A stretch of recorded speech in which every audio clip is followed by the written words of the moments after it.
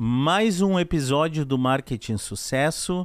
Antes disso, de apresentar a convidada de hoje, quero mandar um recado, recado do nosso apoiador aqui, Fipasa, Fipasa Seminovos. Entra no site fipasa.com/seminovos.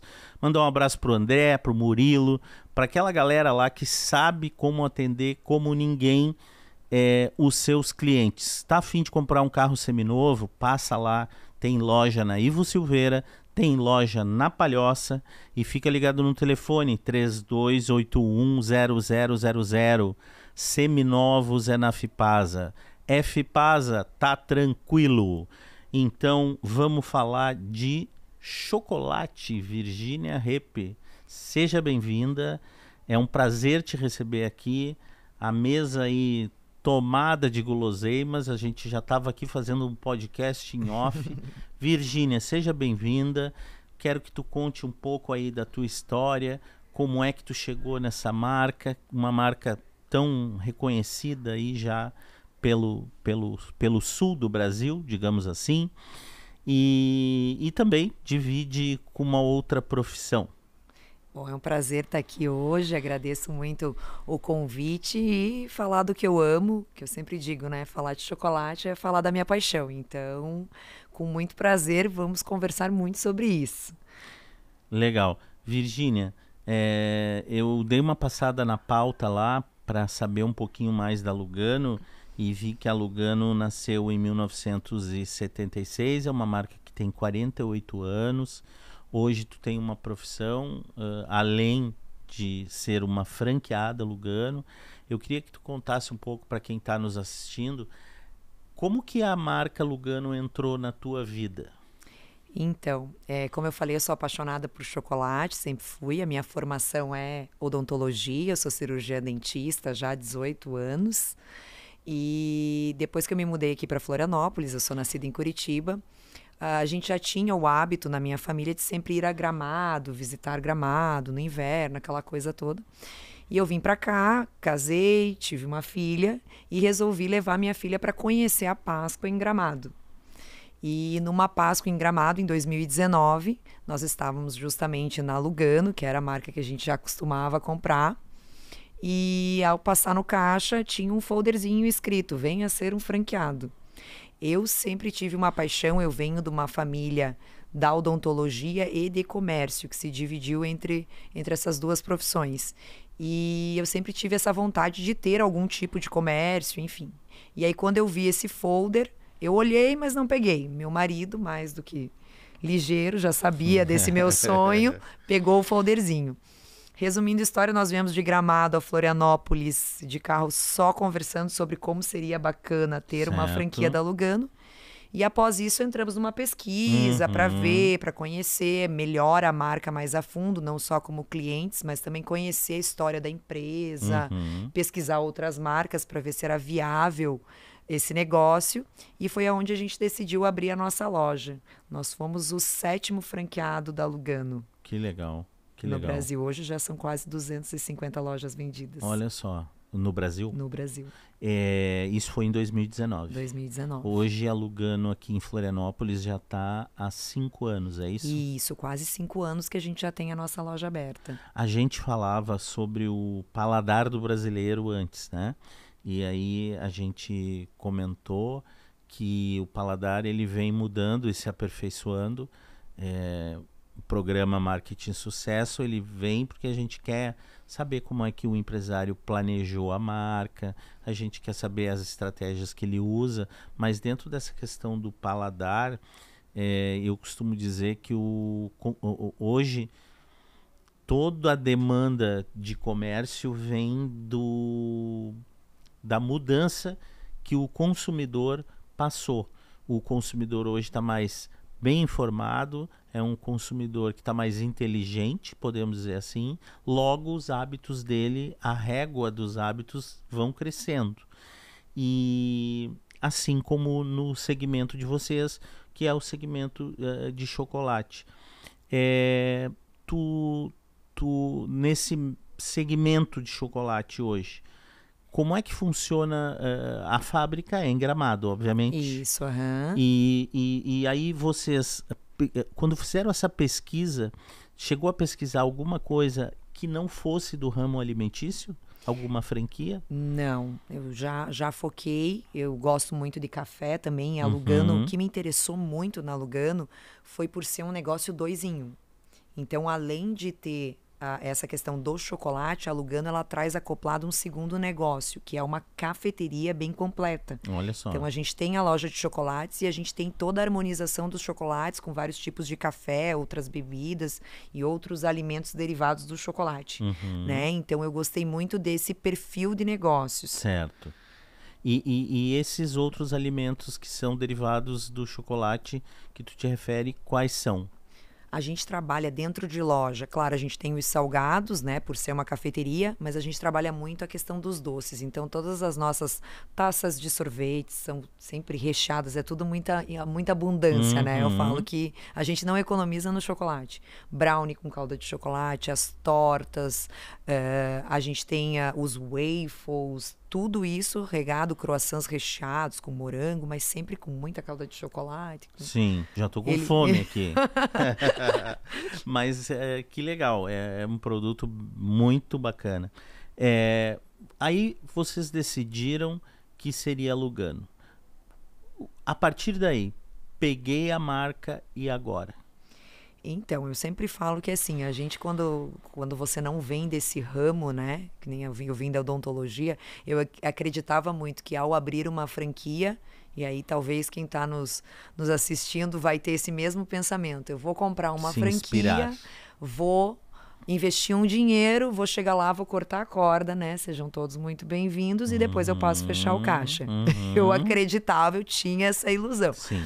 E a gente vê que não, que por mais que seja uma franquia, existe, claro, toda uma estrutura, todo um respaldo, toda uma orientação, mas é um negócio que depende da gente. Claro. Então você tem que viver esse negócio. Uhum. É como dizem, né? Assim, se tu não cuida do teu, ele não cresce, sim, né? Então sim. você tem que precisa estar sempre atento.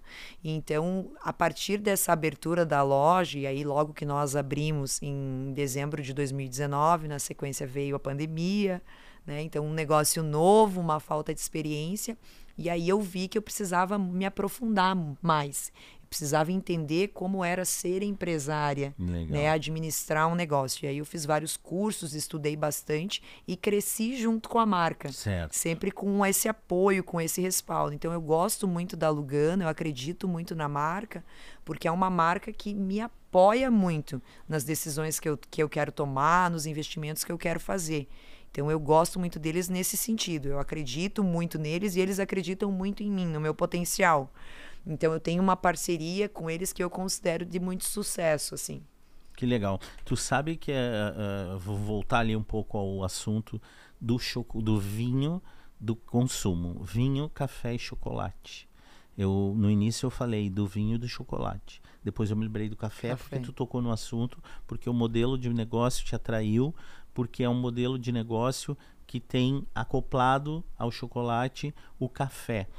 É, hoje o Brasil vem se destacando pelo, pela produção de chocolate, pela produção de café e pela produção de vinho. Haja vista aí a serra, é, principalmente a serra catarinense e a serra do Rio Grande do Sul. É, esse paladar ele só se refina. Exatamente, a gente percebe assim como o brasileiro ele tem mudado o seu paladar. E aí eu volto, a pandemia ela nos trancou para dentro de casa, né? E aí o que que a gente tinha para fazer? Comer. Comer. Né? Então, o que, que a gente fez? A gente foi experimentando coisas novas. Então, pedia-se muita coisa em casa, comprava-se né? muita coisa diferente para poder experimentar. E com isso, a gente percebeu dentro de todas as classes sociais, como existiu um refinamento desse paladar. Como tu falou, a régua subiu. subiu, né? Então aquele vinho que a gente gostava ali, que tomava de vez em quando, hoje você não consegue mais tomar. Claro. Hoje a tua qualidade do vinho mudou para o teu paladar. Da mesma forma o chocolate, para nós foi uma curva muito interessante. Sim. Porque a Lugano ela é um chocolate premium que é um chocolate vindo da, da, da, Ela traz muito essa coisa do artesanal, uhum. do chocolate feito à mão, um chocolate sem gordura hidrogenada, né? Com menos quantidade de açúcar, a maior quantidade de café. Trabalha com cacau que é o cacau brasileiro, que é um dos melhores cacaus do, Do mundo. mundo.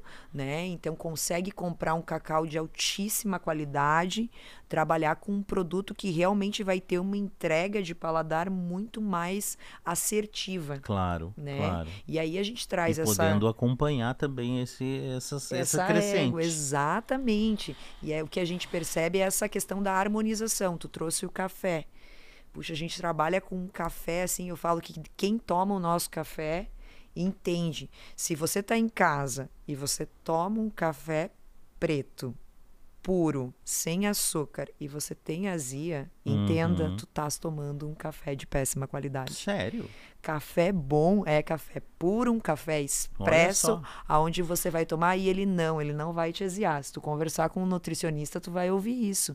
Os cafés de qualidade no Brasil, que são os cafés premium, e o Brasil, como o cacau, é um excelente produtor de café, Uhum. só que o que a gente exporta, o nosso melhor café, Claro, claro. se, né? Se você conseguir trabalhar com um grão de qualidade, você vai ver que você não vai ter nenhum tipo de problema. Você não vai sentir desconforto, não vai sentir uma azia, porque é um café puro, Certo. de alta qualidade. Então a gente trouxe dentro da Lugano essa harmonização. Então a gente trabalha com um café premium de altíssima qualidade, harmonizado a um chocolate de excelente qualidade e procedência, e a gente ainda traz dentro da nossa loja uma collab, uma parceria com uma vinícola muito reconhecida no Brasil e premiada, que é a vinícola Lídio Carraro, que Olha fica só. em Bento Gonçalves, Que legal. onde a Lídio Carraro produz vinhos com a etiqueta da Lugano, com a logo da Lugano. Que Então, é muito bacana porque a Lídio Carraro é uma vinícola purista que não faz alteração das São vinhos uvas. orgânicos? Eles não são considerados vinhos orgânicos, eles são considerados vinhos puros, Uhum. né? O, o, o purista vem do quê? Da não adição de açúcar. Eles não alteram a uva. Certo. Porque a gente sabe que muitos vinhos, eles colocam, algo- é, colocado, são colocados outros componentes dentro do, do- de- perdão, dentro do preparo desse vinho. Entendi. E a Lídio Carraro não. Ela trata a uva pura. Então esse é o interessante dela. Certo. E aí casa muito bem. Uhum. A Lídio Carraro, né, ela tem um vinho branco que ele foi pontuado com uma nota 9.2 por uma das avaliadoras internacionais mais conhecidas do mundo. Olha só. Então, puxa, dentro do Brasil a gente tem tanto produto Tem. bom, de qualidade, não e tem alta produtividade, não valorizar. né? Alta produtividade. Tu sabe que há uns dias atrás eu ganhei de um convidado aqui um vinho de presente, um vinho orgânico. Eu não sabia que era orgânico, aí levei para casa e tomei.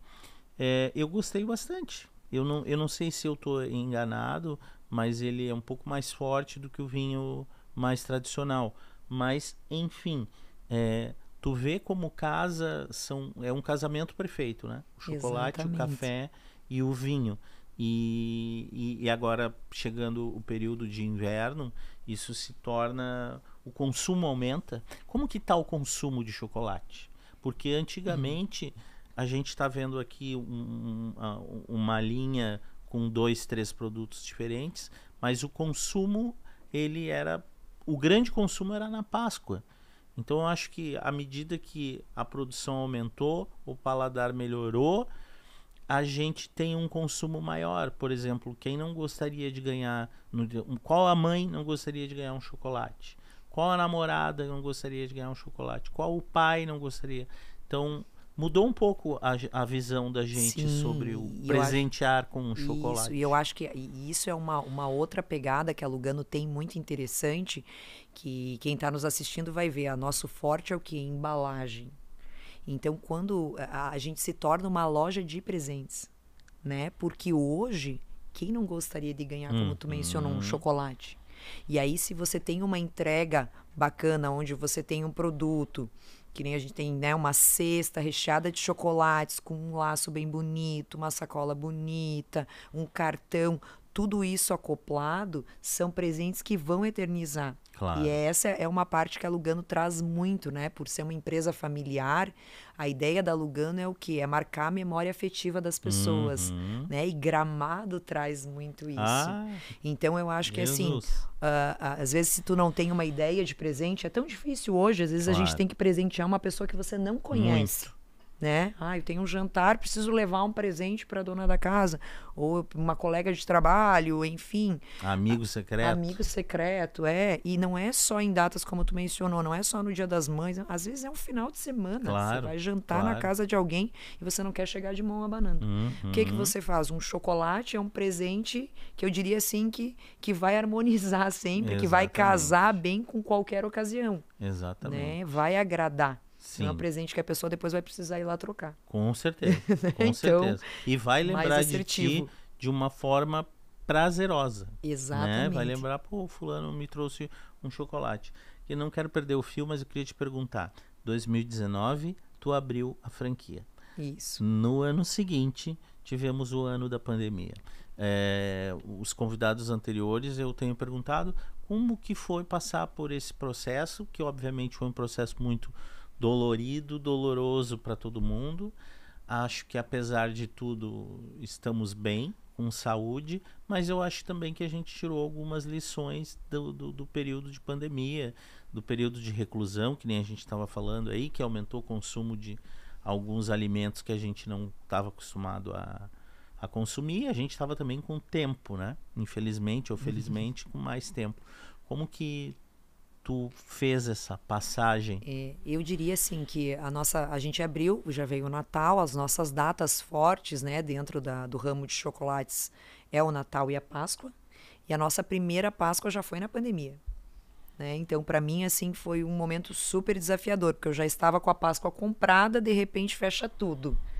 Uma semana antes da Páscoa, o prefeito não libera as lojas de chocolate. E a gente, graças a Deus, assim, eu digo que trabalhou muito bem esse marketing, teve muita ajuda, muita gente acreditando, a gente vendeu toda a nossa Páscoa. Olha só. Eu não tive saldo de Páscoa na minha primeira Páscoa na pandemia. Vindo disso, a gente começou a se reinventar, né? Uhum. Então, começou a trabalhar com aplicativos de entrega, Certo. coisas assim para tentar sobreviver. Durante a própria pandemia, a gente manteve durante muito tempo a cafeteria fechada, porque não conseguia atender essa demanda, ou no, no Abria e PEG fechava leve. tudo é. toda hora. E funcionário, to- toda essa demanda que todo empresário aí passou, né? Sim. Funcionário vem trabalhar, não vem, traz funcionário, leva o funcionário Tá doente, funcionário não tá doente. grávida, tinha funcionária grávida, é, foi uma loucura, né? E em cima disso, a gente foi aprendendo, eu particularmente fui aprendendo muito a entender melhor o meu cliente e o que, que ele queria.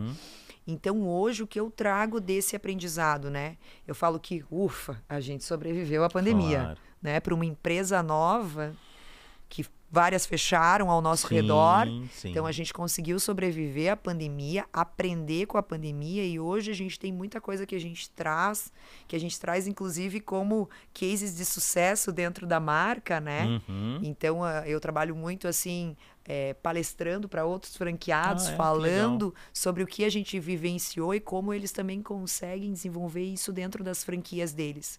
Que foi o quê? Hoje eu percebo que as pessoas elas não têm mais tempo. Pós-pandemia, cada vez menos a gente tem tempo para as coisas. Escassez de tempo. Exatamente. Então, o que, que eu quero? Por exemplo, nessa Páscoa, um serviço que a gente entregou. Você trazia a cesta de Páscoa do seu filho. A gente montava a cesta de Páscoa do seu filho, mandava uma foto para você pelo WhatsApp para Uhum. aprovar, mandava um link de pagamento, embalava e entregava na tua casa. Isso que é criatividade. É, é tentar se reinventar e facilitar para o cliente. Então a gente tem muito esse, esse trabalho dentro da nossa loja.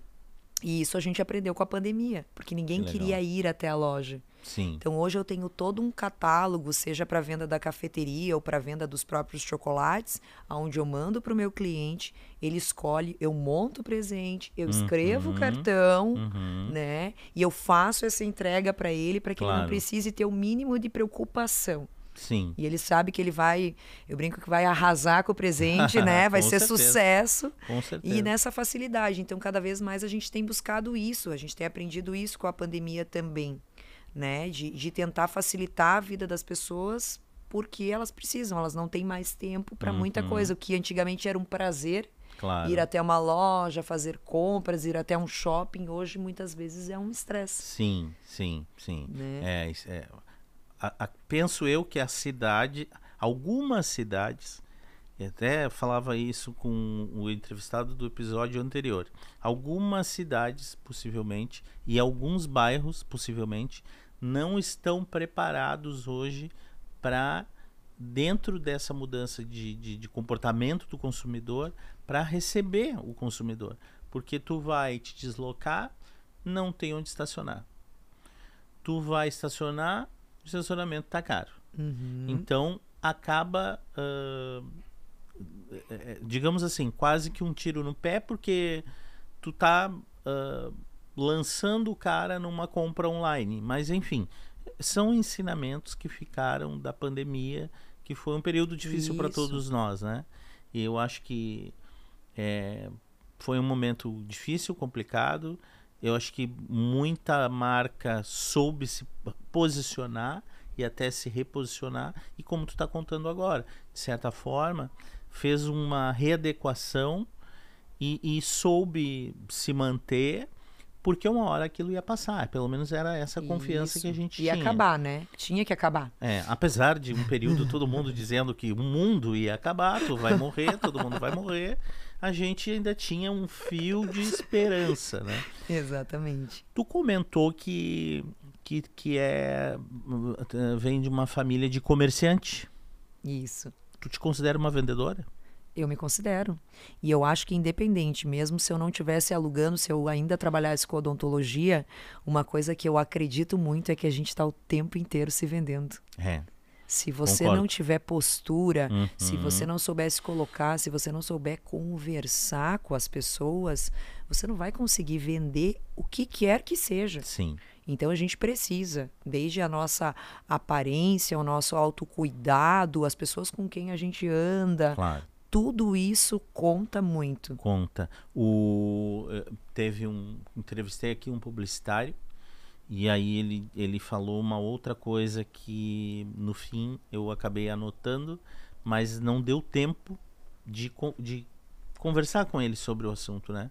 Ele falou o mesmo que tu falou e ele falou também de sinergia e energia, porque eu acredito também que o vendedor ele tem que dentro do visual, das características principais, que é um sorriso, aperto de mão, a postura, é, né, a educação, mas também tem a questão da energia, né, que a Sim. gente hoje está sempre tentando uma forma de se conectar com o outro. E ele fez até um comentário que a gente riu aqui, que é engraçado, que hoje eu brinquei com ele, ele eu, eh, perguntei, tu é casado? Hoje tu é casado, tem filho? Ele tem filho ou dois, não lembro agora. E aí ele disse, não, quando eu conheci a minha esposa, eu estava sentado no lugar X, ela passou e eu corri atrás dela e abordei ela. Eu brinquei com ele. Se fosse hoje, tu ia ser preso. Justamente. Então, assim, é, onde eu quero chegar com isso? Eu te pergunto, quando tu comenta que tem uma família de comerciantes, se tu te sente uma vendedora, até porque a gente gosta bastante de entender a marca, como é que tu planeja e dá para perceber que tu tem uma veia né, de quem sabe se posicionar, sabe o que está fazendo com a marca, entendeu aquilo que a marca te oferece uhum. e, e, e, se sente segura também na, no momento de, de passar quando tu tá uh, palestrando. Mas e como é que aconteceu essa situação da palestra? Como que tu foi a escolhida? É, eu, eu para mim foi até uma surpresa, né? A gente, a gente brinca assim, mas uh, eu acho, o que eu acho interessante é justamente isso. Eu sempre quis me colocar. Eu nunca tive vergonha de aparecer e vergonha de dizer, não, a, a Lugano sou eu em Florianópolis, uhum. né? E eu, eu, eu, brinco que eu mato muito no peito, assim, Sim. sabe? Então, eu só tenho negócios aonde eu acredito naquele negócio. Claro. Porque eu acho que é isso que traz essa sinergia que uhum. você falou. Quando você é um apaixonado pelaquilo que tu faz ou que tu vende, é, obviamente o teu cliente ele vai sentir essa tua paixão e ele vai acreditar e ele vai entrar contigo nessa. As coisas fluem. As coisas Melhor. fluem, exatamente. E aí eu sempre fui, fui isso, assim, eu sempre, eu, é, os franqueados me perguntavam como é que tu tá fazendo? A gente tem os nossos encontros, uhum. duas vezes por ano nós temos os encontros da franqueadora, né? Um, um período em Gramado e um período em São Paulo, para concentrar o Brasil inteiro. Certo. E aí sempre existe essa troca Uhum. entre nós. E eu, o pessoal vinha muito falar comigo. Ah, como é que você faz? Ah, porque ah, não sei quem me falou que você está fazendo assim e tal. O que, que você está fazendo? E eu recebo muito WhatsApp e tal do- dos outros franqueados. Aí eu falei, não, não tô fazendo nada. Eu sempre falo, eu sou uma Claro. pessoa muito aberta, assim.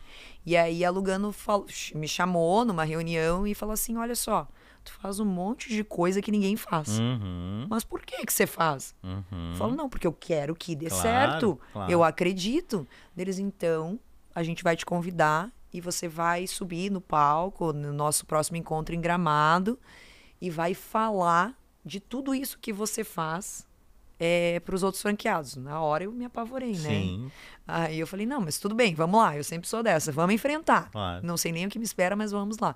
E foi super bacana. Depois disso, assim, eh, eu comecei a ter essa questão de, de eles sempre me chamarem para estar falando. Uhum. Eh, os franqueados novos que pensam em abrir a franquia, eles passam o meu telefone, essas pessoas me ligam para entender como funciona a marca, para ver se se encaixa no que elas Claro. desejam, né? E, e foi assim que surgiu essa, essa questão do palestrar. E depois disso, assim, foi bacana porque também me abriu a cabeça para outras coisas, né? Uhum. Então, dentro de outros negócios, eu também comecei a me soltar um pouquinho mais Claro. e acreditar e, e falar um pouco mais de, de mim, vamos dizer Ah, assim. que legal. Virgínia, é, tens uma outra profissão, é isso? Isso. E aí divide a outra profissão, Lugano, palestrante, é casada, tem um filho? Dois filhos. Dois filhos. Como é esse mundo? Louco. Mundo louco, né? As minhas amigas que brincam, né? Elas falam, meu Deus, como é que dá conta? Dá conta, né? A gente, quando a gente quer muito, como eu falei, como a gente Sim, quer muito que as sim. coisas deem certo, a gente dá um jeito. Obviamente, existe um apoio por trás, né? Claro. Eu brinco que meu marido é meu sócio na Uhum. clínica, né? Nós temos uma clínica odontológica, meu marido é meu sócio na clínica, meu marido é meu sócio na Lugano. Ele cuida das crianças também, então existe esse suporte por trás, essa rede Importante. de apoio que é extremamente importante. Mas assim, é, é, eu tento me dividir, eu tento organizar uma agenda onde sim eu clinico ainda bastante. Uhum. Né? Eu brinquei contigo que antes de vir aqui eu estava atuando Sim, como sim. dentista. Sim. Então eu tenho ainda uma vida bem ativa dentro da odontologia e eu tento dividir essa minha atenção, né? Então dentro da minha agenda para que eu possa dar conta de tudo. Eu ainda tenho um filhinho pequeno, tem dois anos só, o meu mais novo. Então, mas a gente consegue, né? Eu brinco e, e falo assim que quando você quer muito que o negócio funcione, você encontra tempo para tudo. Quanto mais a gente faz, mais tempo a gente tem para fazer as coisas. Claro, claro. É, aí entra a questão da energia que a gente estava falando, que o, o convidado anterior é, citou. E tu. Eu fiz uma pergunta também para uma, uma convidada, e vou fazer para ti também, mas como é vender desejo? Isso, tu falou da minha profissão, né? Então, eu sendo dentista, o que que eu vendo? Eu vendo dor. ah, tu tinha me falado. É, isso. eu não adianta, A né? venda Eu- casada. Eu, é, eu vendo dor, né? Ser dentista é o que? Claro, a gente vende a busca por um sorriso, por uma qualidade de vida, de mastigação. Mas ao final de tudo, não Uhum. é um profissional que as pessoas gostariam de visitar. Claro. Né? Muito melhor eu Uhum. te convidar para tomar um café, comer um, comer um chocolate, do que ir lá pro consultório tratar Com os dentes.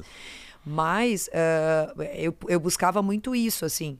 E eu pensava, puxa, se eu vendo dor, Uhum, por que, que eu não posso vender prazer? claro. tomar um café, Olha comer um chocolate. E aí eu pensava assim, poxa, se eu sou bem sucedida na odontologia, como é que eu Uhum. não vou ser bem sucedida vendendo prazer? Sim. Né? Então eu acho que assim, é, é- é- foi o, o que, a- que a gente estava comentando antes, né? As pessoas falam para mim, pô, tu é esperta, tu faz venda casada, né?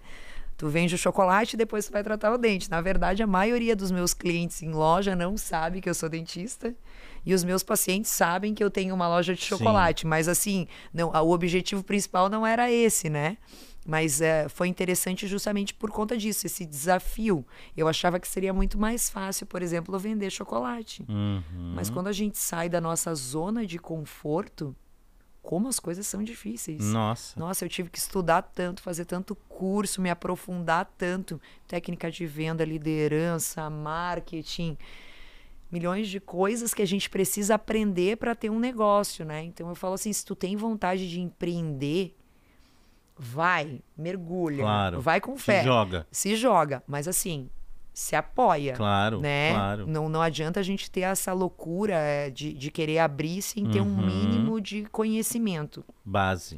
Estudo de mercado, da marca que tu pretende, do local onde tu pretende. Eu acho que o ponto comercial é uma Uhum. coisa assim que é, tem que ser muito assertiva, Claro. né?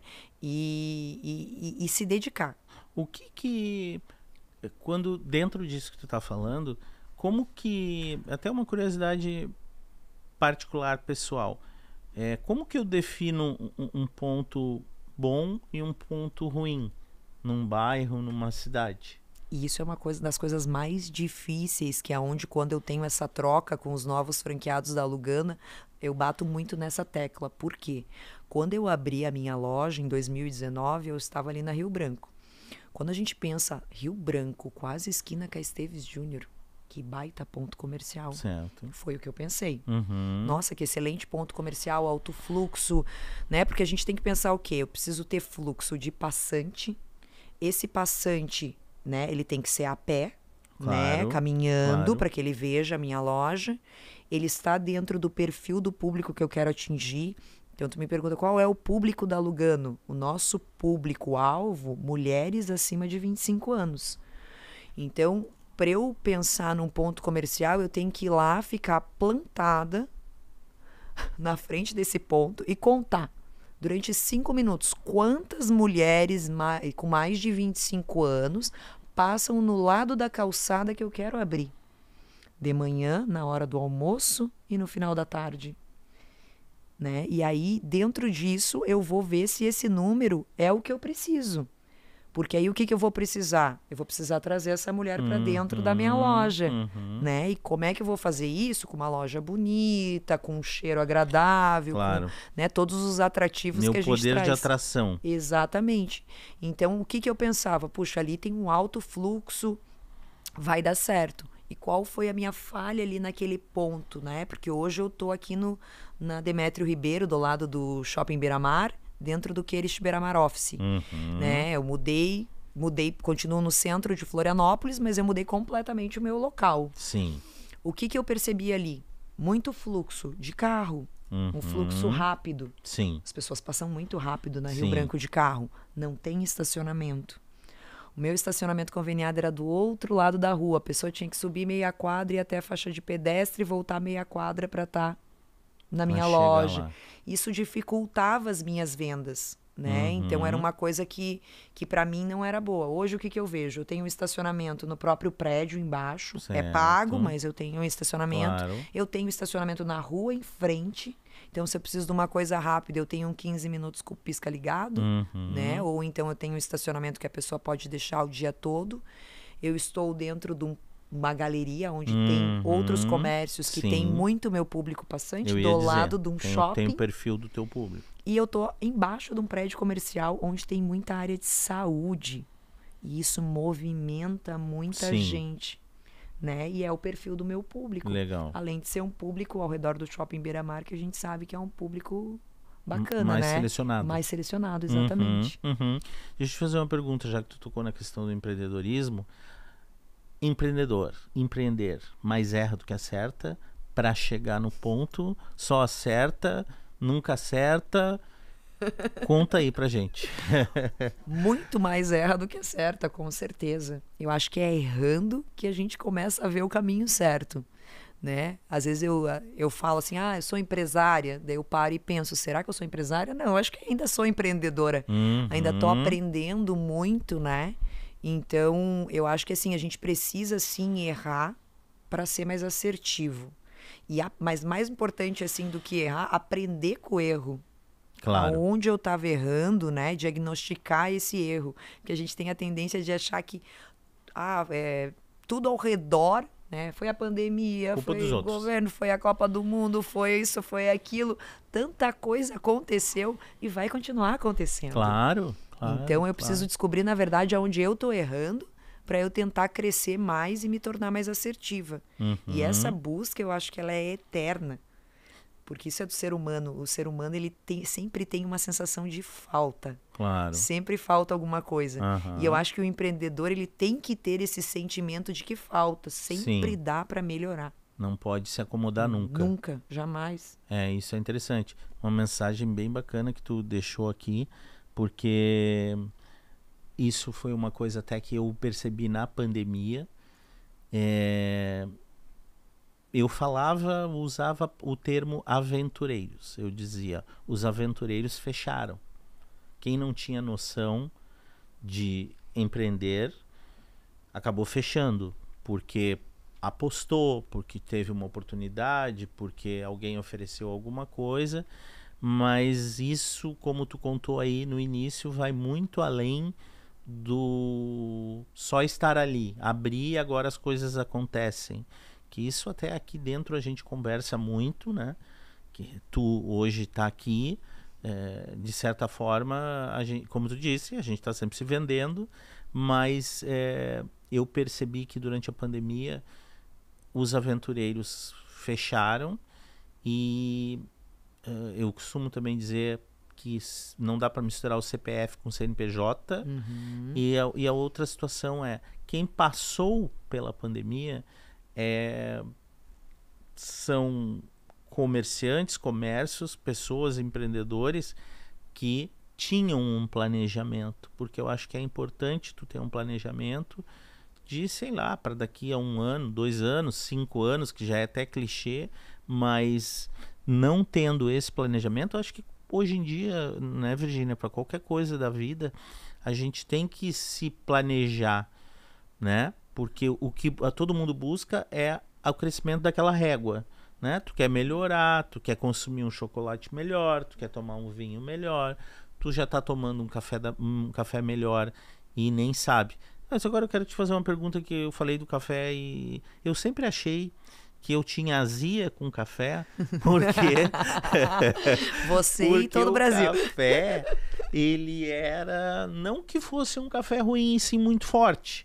Claro que talvez isso já diga alguma coisa. Ele é mais forte porque é ruim? Hum, e Essa, essa foi a minha dúvida, né? Tu como conhecedora do, do chocolate, do café, é, eu sempre achei que a azia sempre foi ou porque era um café mais forte e também pelo excesso, porque eu sempre gostei de Sim. tomar muito café. E isso para mim foi uma surpresa. Mas você sabe que assim, ó, o café é bom quando você vai tomar um expresso. A gente olha e olha. Veja, eu, eu não entendia de café. Uhum. Eu fui fazer um curso de barista, né? Na verdade, a, fran a franqueadora, Lugano, me deu um curso de barista Legal. Para eu poder aprender. Então, eu fiz lá em Porto Alegre, meu curso de barista, com os fornecedores de café da Lugano.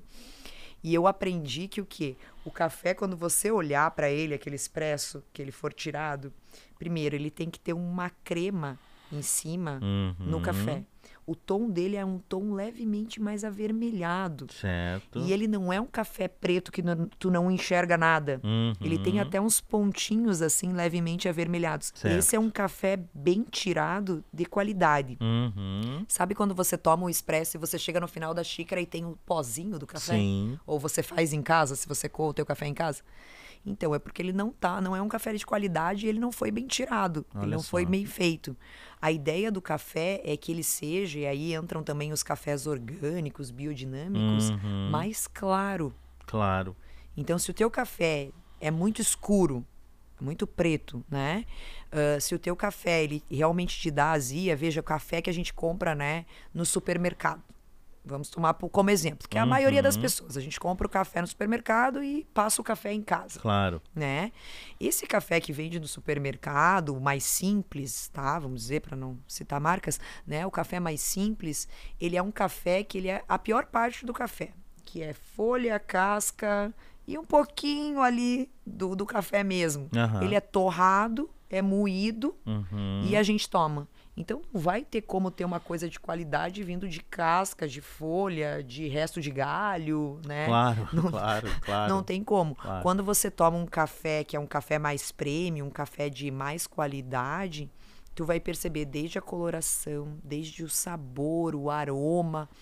Por exemplo, uma coisa interessante, às vezes os clientes perguntam pra mim: "Puxa, Virginia, mas por que que vem esse copinho com aguinha com gás junto com o café?"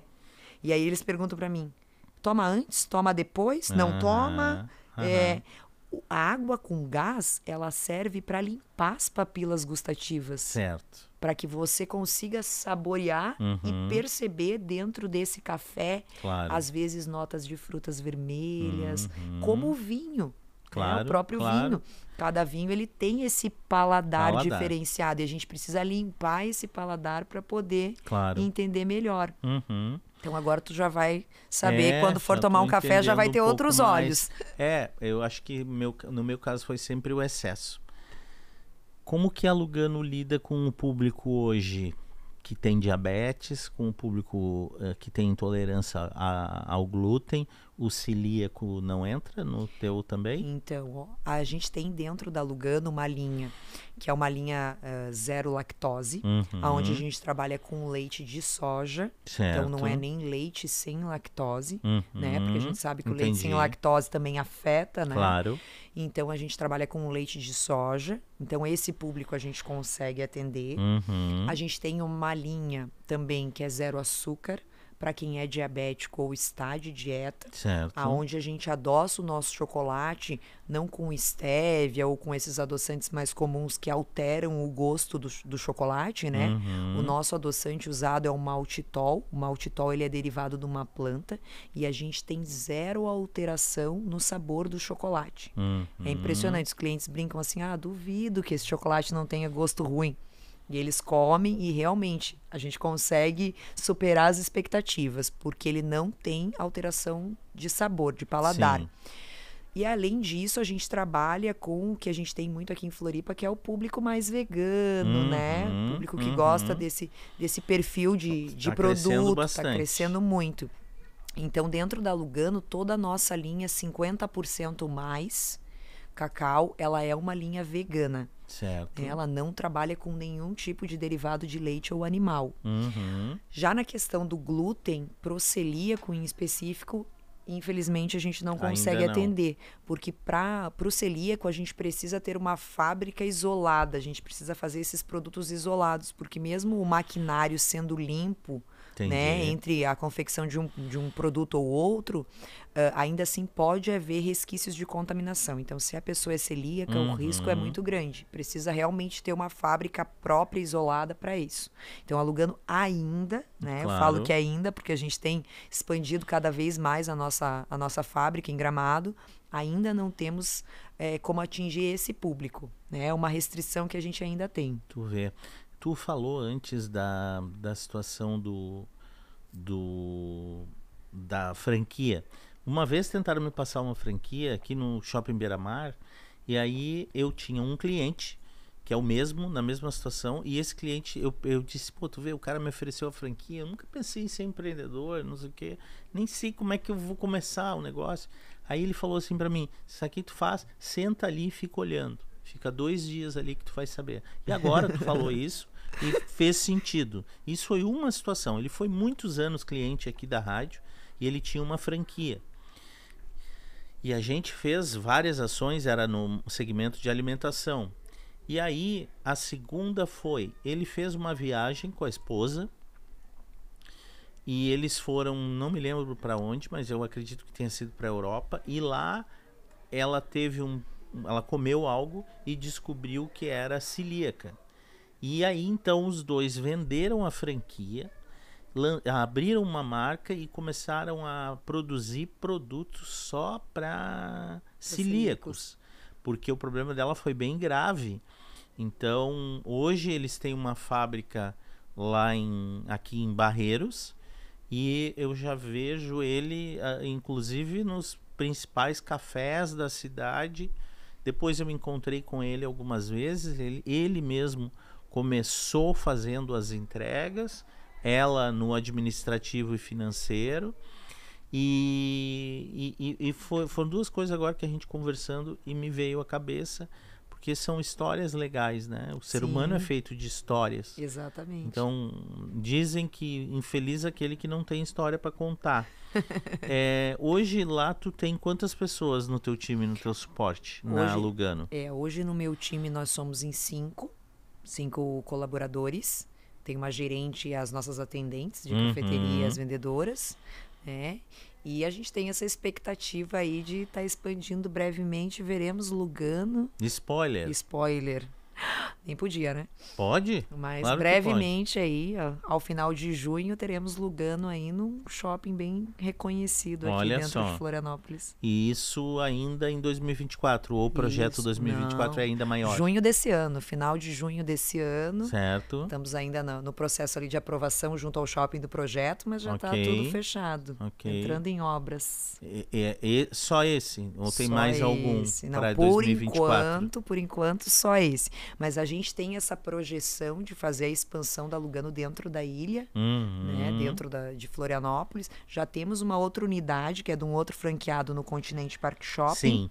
Né, é, ali em é São José, né? É São José. Ali no Continente Park Shopping. E, mas a nossa ideia é expandir dentro da ilha. Eu gosto muito de trabalhar aqui dentro, acho o perfil do público muito assertivo.